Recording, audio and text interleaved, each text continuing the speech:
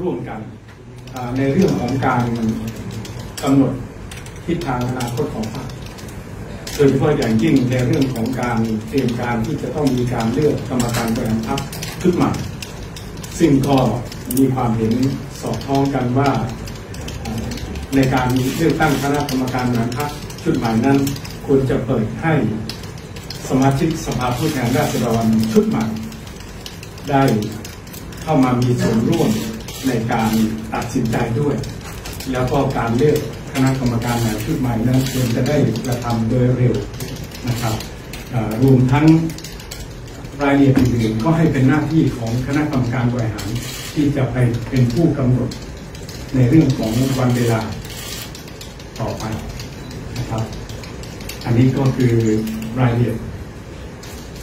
โดยเร็วนี่คือไม่รอกกตรับรองหรือว่ารอหลังกกตรับรองนะ คำว่าเร็วเอ่อก็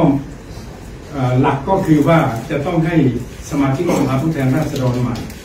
นะครับ ได้มีโอกาสเข้ามาลงคะแนนเลือกด้วยนะครับซึ่งอันนั้นก็ก็ต้องรอตัวเลขที่นิ่งอ่าซึ่งกรรมการบริหารจะเป็นผู้ไปพิจารณานะครับคือคืออันนี้เนี่ยจำเป็นจะต้องมีการแก้ไขข้อบังคับพักอะไรไหมคะหรือว่าตรงเนี้ยสามารถดำเนินการได้ตามข้อบังคับพักอ่าข้อบังคับพรรคก็มีอยู่แล้วนะครับอ่า ที่จะรองรับในเรื่องเหล่านี้นะครับอ่าส่วนรายละเอียดอื่นๆขอให้เป็นเรื่องกรรมการมาที่จะเป็นดูในรายละเอียดกันอีกครั้งแต่ว่าเอาหลักหลักว่าจะเป็นอย่างนี้ครับรายละเอียดที่บอกว่ากกบขจะต้องไปดูเนี่ยรวมถึงในเรื่องหัวหน้าพักว่าจะต้องทำที่โหวตอย่างเสียงแบบเดิมหรือว่าใช้มติให้ใช้มติที่ประชุมไปเลยเอ่อในเรื่องของการทำ primary vote เท่าที่ฟังความเห็นวันนี้นะครับเอ่อส่วนใหญ่ก็ ก็คิดว่าในสถานการณ์อย่างนี้ และก็ในช่วงระยะเวลาที่จำกัด ก็อาจจะต้องมีการปรับปรุงรูปแบบให้มันสอดคล้องกับสถานการณ์ ซึ่งซึ่งกรรมการบริหารพรรคก็จะไปดูในรายละเอียดอีกครั้งหนึ่งนะหคมารัยบถึงว่าจะไม่มีการทำพันธุ์ที่แล้วใช่ไหมคะเอ่ออาจจะเป็นในรูปแบบที่เหมาะสม หรือว่าอย่างใดอย่างหนึ่ง เพราะว่าช่วงเวลามันค่อนข้างจำกัดนะครับมีมีส่วนการประชุมของเอ่อ ที่ประชุมใหญ่ในวันที่ 24 เมษายนเนี่ยค่ะคือไม่มียังไม่มีเรื่องการเลือกเลือกหัวหน้ายังไม่มีในวันนั้นถูกไหมคะเอ่อไม่ไม่ได้มีในวันนั้นนะครับเอ่อเอ่อ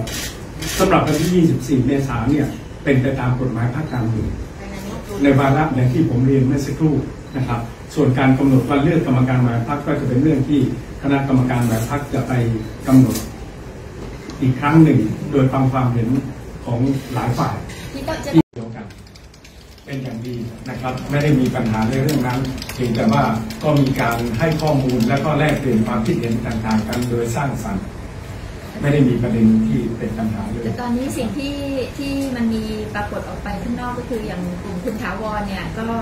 พูดชัดว่าจะสนับสนุนให้พักเนี่ยไปร่วมรัฐบาลกับพลังประชารัฐ ในขณะที่มันก็มีบางส่วนที่เห็นว่าพรรคประชาธิปัตย์ควรเป็นฝ่ายค้านวันนี้เนี่ยมันมีการเห็นหนักนะคะว่าแนวคิดสองทางในพักในขณะนี้เนี่ยมันจะได้บทสรุปยังไงเออไม่ได้มีการพิจารณาในเรื่องท่าทีทางการเมืองนะครับสำหรับในวันนี้นะครับเพราะว่าหัวใจสำคัญก็คือเป็นเรื่องของการที่เรามาแลกเปลี่ยนความคิดเห็นกันในเรื่องที่จะ ฟื้นฟูพัก แล้วก็ทำให้พักได้กลับมานั่งในหัวใจประชาชนเอ่อเพิ่มเติมขึ้นได้อย่างไรในอนาคตคือคิดว่าพักจะนั่งหัวในหัวใจประชาชนเนี่ยควรจะไปนั่งทางไหนครับที่เท่าที่คุยกันนะถึงจะอยู่ในหัวใจของประชาชนในฐานะอะไรที่จะอยู่ในหัวใจประชาชนได้ระหว่างการเป็นรัฐบาลกับการเป็นฝ่ายก็เป็นเรื่องของการที่จะต้องประเมินการเลือกตั้งในช่วงระยะเวลาที่ผ่านมาประกอบด้วย ว่าในแต่ละเขตพื้นที่เนี่ยมีลักษณะของการต่อสู้แข่งขันอย่างไร แล้วก็ประชาชนมีความเห็นอย่างไร